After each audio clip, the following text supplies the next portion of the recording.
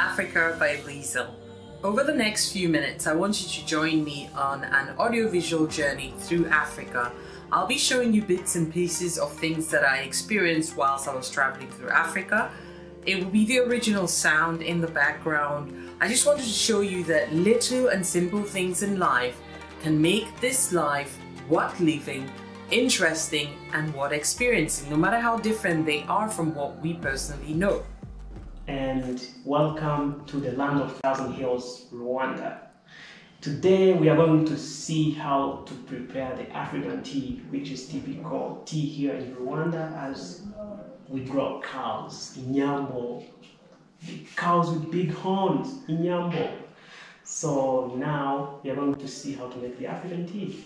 And we start by showing up the ingredients we use while making the African tea here we have water, we have ginger, we have the tea masala, and we have here the cinnamon, as well as the tea leaves, the black tea, Rwanda tea. And of course we have milk. We are going to use one liter of milk to make the African tea. So here we go.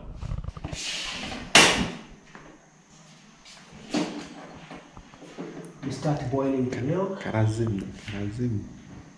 We start boiling the milk and as long as the milk is boiled, we are going to add a little bit of water as it's tea, not the milk. Oh, good morning, guys. I'm going to give you a very little test, and it's about this beautiful fruit basket. Wait, before we do that, I'm going to introduce two other ones because this is your time to flourish. Can you name and guess what fruits are in this basket? So obviously they are three types of fruits in this basket and I'm leaving it up to you to figure out what they are. I'm not going to tell you. I might put it at the end of the video, but hey, this is my breakfast from Ruhengeri Musanze. So let's go in a bit close. I'm to show you that fruit again. There you go. And I think you should pretty much know everything else on the table. This is the curiosity here. So, morning guys. This is Musanze or um, Ruhengeri as you call it. It's surrounded by a range of mountains and I'm really hoping Ah, this crows. I'm really hoping I can uh, climb to Bisoke, the volcano, the crater lake. But I've gotten a mixed information yesterday and I'm still trying to find out if that's the truth or if maybe um, I can find a way to go climb it. Right now it's dry, so it would be the perfect weather for it. But anyways, I'm just walking around the city in the morning because usually are less people and I can show you the environment. But the few that come out tend to stare like, what is she doing? Um, like probably you can see uh, in the background.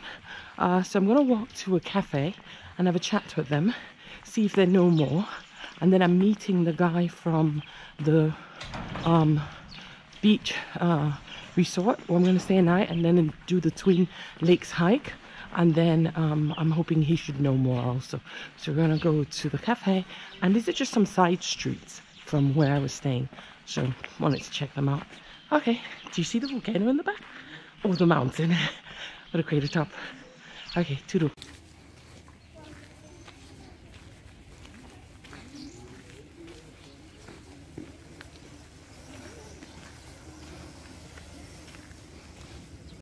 So guys, right about here, we're 25 kilometers away from the Ugandan border and the Musanze caves are that way, the national park is that way. Still trying to figure out a way to go there. I'm gonna ask big bang and then the lights gone out. So you can see that cable literally, you know, slam the ground from the um, pole back there, the electric pole and across the street. So I'm in Migano and the lights have gone out in Migano. So something did kind of like explode, I guess, because it was a huge bang and they ran out of the kitchen. And people are still passing under that wire. I guess because the power is caught, it's probably safe. I'm telling you, it's working. Whatever they're doing in Rwanda, it's definitely working. So approximately nine minutes after a slam down, they're here and they're fixing it. This would not happen anywhere else, I know very well. So I walked around the city this morning and what I love about it is that you have a lot of, you know, quaint guest houses like the one I'm in right now. And um, this one is really cool because they have like this arty thing going on, like you can see a voila behind me. And it's also attached to some art initiative, uh, is it Red Rocks or something? But I love the artworks and um, you have quite a number of these um, guest houses all over town and they're usually one story so kind of like does not obstruct the background of the mountain range behind it so you're walking around you're like you know, so that's kind of cool. Um, I obviously came here because the Volcanoes National Park is, yeah, in this area, in this region, and also the Twin Lakes. I was hoping to do at least two hikes um, in the Volcanoes National Park, but it's uh, proving to be very tricky because here's the deal. They've got about five hikes, I think, and there's a $75 fee for uh, the hiking, but uh, all the hikes start at the same time, so it's not possible to do two hikes in a day. So I think it's rather expensive for, you know, to have to pay $75 just to do one hike. But here's the good thing. Because there are not a lot of tourists, if you do get to do the hike, you have a 60% chance of seeing the gorillas. But there's another thing to tackle. They need you to have a COVID test that is um, not older than 72 hours. So there's another, probably $10 coming in if you do a rapid test. And then you have to get to the park. I'm still trying to figure out the logistics to get to the park. Good thing, fair thing about today is it's not raining. It was raining yesterday and it is freaking cold. At least for me it's cold because it was 18 degrees during the day and like 14 at night. That in my definition is cold. Um, anyways, so I need to try and figure out that. But I have heard, and I think this is proven to be true with the little research I'm doing, uh, that uh, the national parks here are kind of geared towards a certain class of tourists, so high end. But thankfully, like if you go to Rubavu or um, Karongi, there are loads of things that you can do that are not within a park management. You can do a lot of boat trips on Lake Kivu. You can uh, walk the Congo Nile Trail, and that's thankfully free. And uh, you can just walk around Karongi. It's such a beautiful city or town, and you can kind of like navigate the different parts around the lake. So that's that's a plus. So you don't have to be super duper loaded to be able to enjoy that. For now, I'm going to try to do some stretch because I've just realized I must have done something really horribly back to my uh, to my back in Uganda because I'm still kind of suffering the consequences in my lower back. So if I have the opportunity to do flow exercises and stretches, I will take it and this is a good space, so let's get into it.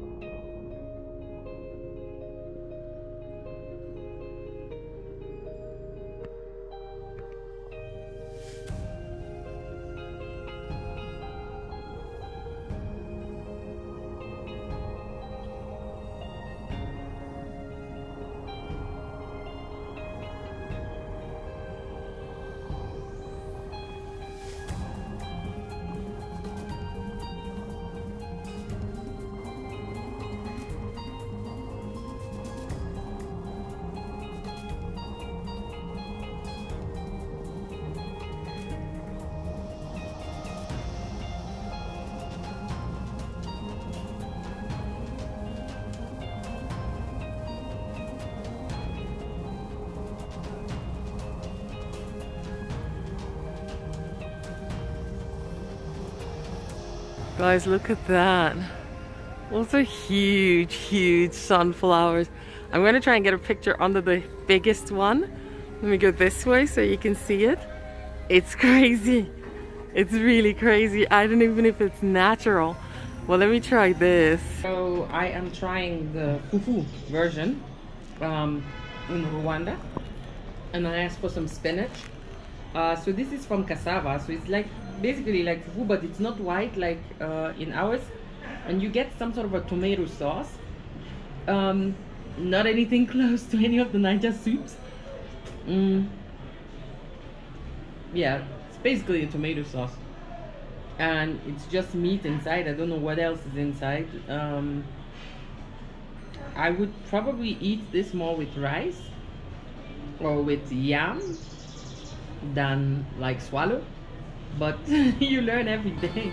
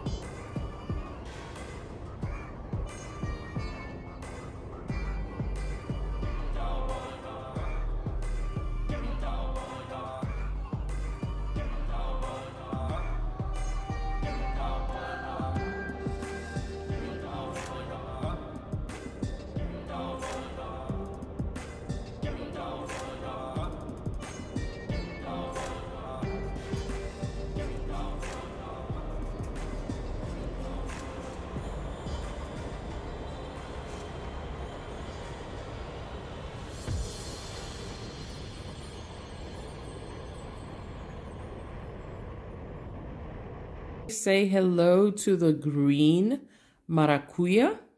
Um, so the one in front is obviously not ripe. And you can see that by the seeds and the one behind is ripe.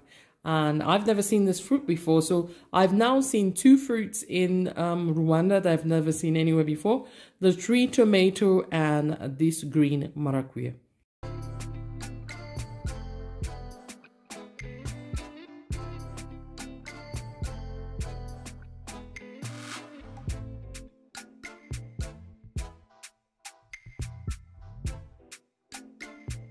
I do hope you've enjoyed this episode. Thank you very much for watching. Yours truly, Liesel81.